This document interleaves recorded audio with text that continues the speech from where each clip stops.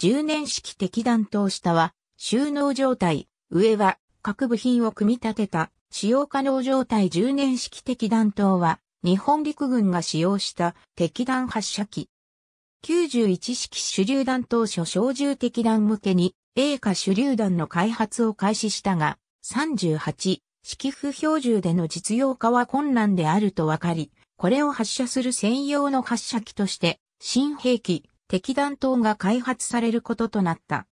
大正10年に仮正式となり、数度の改正を経て、大正14年正式制定となった。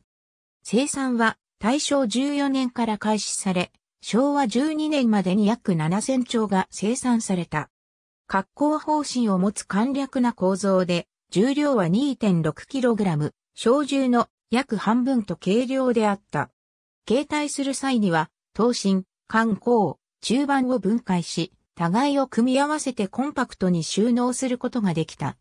10年式手榴弾、または91式手榴弾を発射できるほか、各種信号弾や照明弾、発煙弾などが用意された。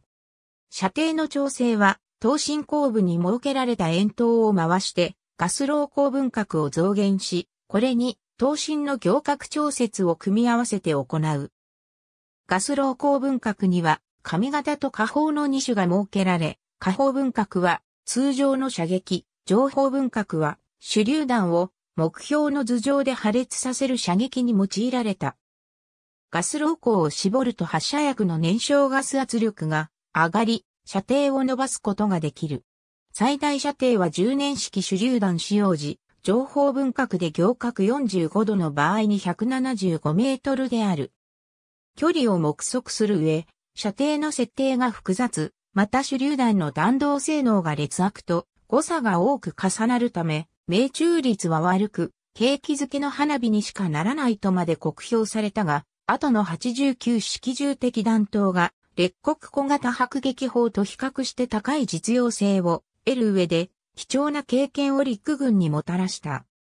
89式重的弾頭の登場後は、不評部隊からは引退したが、代わって信号弾や照明弾の発射機として、砲兵や車両部隊で広く使われ、この用途では第二次世界大戦終結まで長く使われ続けている。